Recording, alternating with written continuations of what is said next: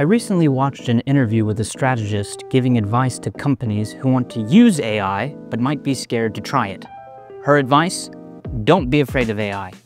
And she says that one trick you can do to make AI approachable and less scary is to think of it as an intern.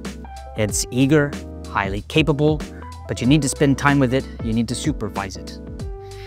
And I know what you're thinking. Uh, isn't the fact that we can look at this as an intern the reason why it's scary?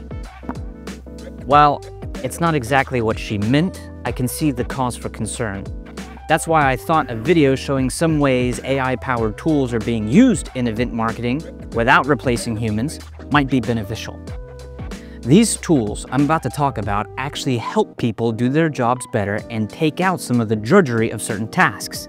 Annoying tasks, like uh, taking notes after a conversation with an attendee in your trade show booth, or marking show floors with tape by hand. Ugh, my knees hurt just thinking about that. We used to do that? I'm sure, uh, no, no. I'm sure there's some kind of like tape stick or something they had to use. Still my back. so what is AI? AI stands for, is there really anyone who doesn't know AI? I mean, you're gonna make me say this? Fine. All right. AI stands for artificial ingredients. Okay, artificial intelligence, or in C3PO's case, artificial ignorance. By the way, there is a video compilation of all the times C3PO complains in the Star Wars movies. It is long. It's like every scene. C3PO is like if we took every Yelp review and put it into a robot. How did we get into this mess? We seem to be made to suffer. It's our lot in life. Okay, uh, off track. What AI essentially does is analyze large data sets and detect patterns. Without AI, a lot of these data sets would be siloed and limit the insights marketers and product developers could use to enhance user experience. AI has actually been used for a few years now before ChatGPT. Spotify and other streaming apps like Netflix use it to find recommended songs for you, or movies. So as long as you use it as a tool to enhance the customer experience, you know, keep humans at the center of everything you do, then that's all there is to it. Okay, but aside from recommending content, creating content, or using it to analyze data, how does it apply to event marketing? Which is one of the most human-centric industries. I mean, it's all about intera interacting face-to-face -face with people. So now, without further ado, here are some of the really cool AI-powered tools that are shaping the industry for event organizers, exhibitors, and attendees. Number one, August Robotics. August Robotics tackles the time-consuming, back-breaking work of marking booth spaces in the exhibit hall. It's like the Roomba meets the blueprint, the Room blueprint. And I'm in marketing. Their automated robots roam the exhibit space and precisely mark the correct booth lines using laser-guided technology, saving tons of time and reducing mistakes. With inflation rising, especially in show services in the events industry, more innovations of this kind are welcome. Number two, Backtrack. Backtrack is a powerful booth sales assistant that's making waves. If you've ever used Otter in Teams or Google Meeting to take notes for you during a meeting and then deliver them to your email, it's kind of like that, except also not. It's an app that you can download on your phone that will record a conversation you have with an attendee in your booth. The coolest part is that after you scan their badge, it will send all of the summary notes, not to your email, but straight to your CRM. According to Backtrack, 75% of information collected on the show floor is forgotten in the next 24 hours. Not so anymore. You also don't have to scribble notes on business cards and then transfer them to your CRM. Number three, Grip AI.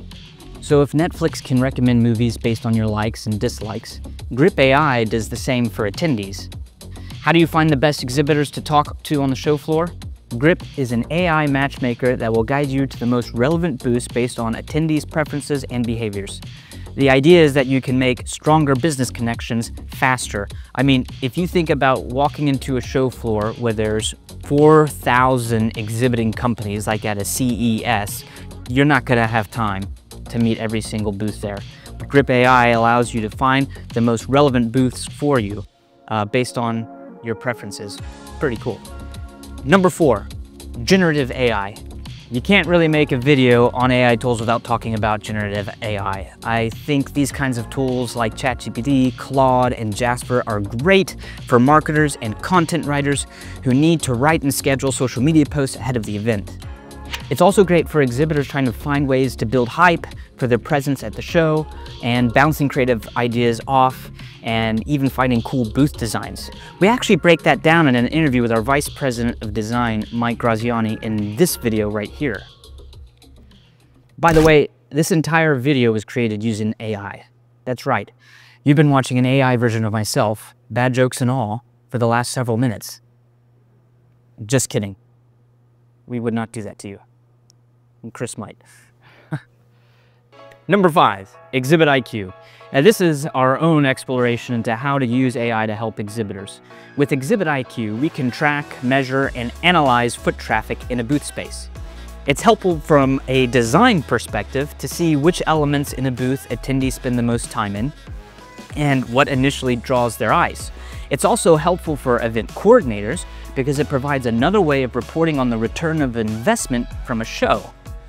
You can now visibly represent impressions, dwell time, and meaningful traffic from your trade show. This means if you're building any multi-touch attribution processes trying to map the customer journey, trade shows can be included in that map now. Pretty cool. So if you're interested in exploring these tools further, we've included links to websites and press releases so you can investigate on your own. It's in the description below. Oh, and did I miss something? If so, please let us know in the comments. We're also taking suggestions too. What topic on event marketing do you want us to talk about next? Let us know below. And if you're wondering where to go from here, watch this video on how to measure trade show ROI. We've got seven equations to help you do just that. Till next time, don't forget to like and subscribe. See ya. Is that it? That's it. We're done.